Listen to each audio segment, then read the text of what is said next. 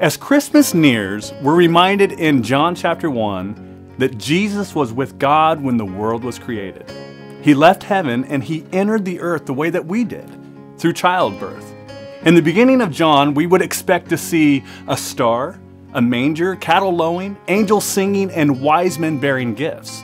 But in the sweeping introduction to John, he doesn't tell of Jesus' story, but ours.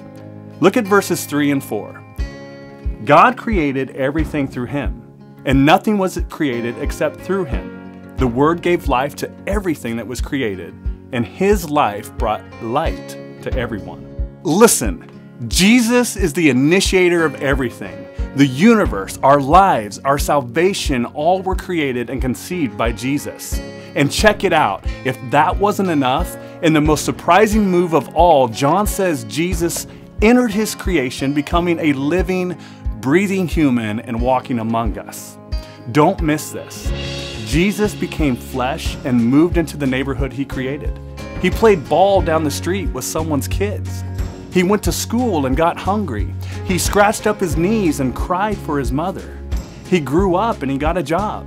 He had a real life human experience.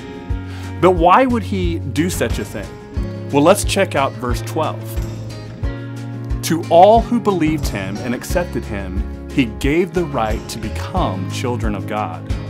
Jesus came to take away the sin of the world by dying on the cross. He took the judgment that we deserve so that all who believed are saved. And this is why the Christmas story doesn't end with the manger. It doesn't even end with the cross or the resurrection or even the ascension.